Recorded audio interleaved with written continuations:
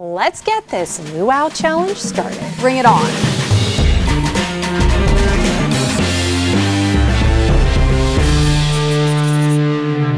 I have been doing party tablescapes ever since my oldest daughter turned one about six years ago. And I got really excited about throwing a first birthday party. I'm an interior designer, a DIY nut who has been crafting ever since I received my first Malibu Barbie. Yes, I was designing houses for her and redesigning her clothing. I'm a little bit worried about the time constraints because I like to do things way in advance, so this is a little bit out of my element.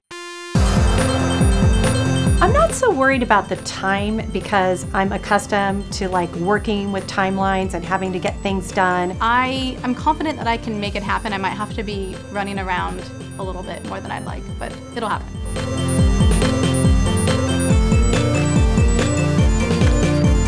I made on my Cricut machine. I scored with the $1.89 uh, wooden silverware. Oh boy. Nice. Every girl needs a boa. Ay, ay, ay. A pool noodle. I think what I'm gonna do, I'm gonna make little stands maybe. Okay, that's cute. So we're just gonna spray paint it. I'm gonna bring the beach to the luau.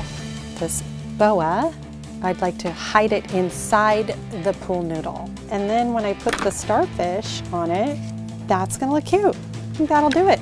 I could make a napkin ring and I could take this leaf and wrap it around. Take some twine. I'm gonna stick my jewels on because that's gonna make it a little fancy.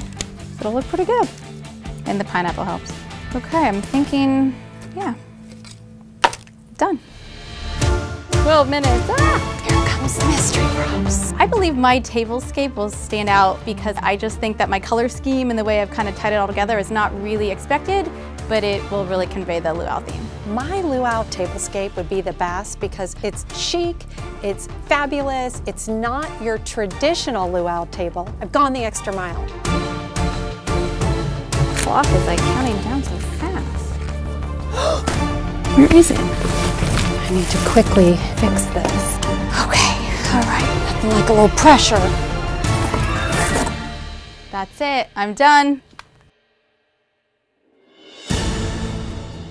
My inspiration for the luau tablescape really comes from my childhood. Hawaii was like a second home to me. I think of the sand, I think of the sea, I think of the tropical flowers, hula skirts and tiki huts, and so I kind of wanted to incorporate all of those things into my tablescape. My inspiration for my luau tablescape came when I found my banana leaf tablecloth in a store hidden behind other items and I saw it, it was like light was shining out like an ah moment that I found it and I knew immediately that that was going to be the basis for everything I was going to do.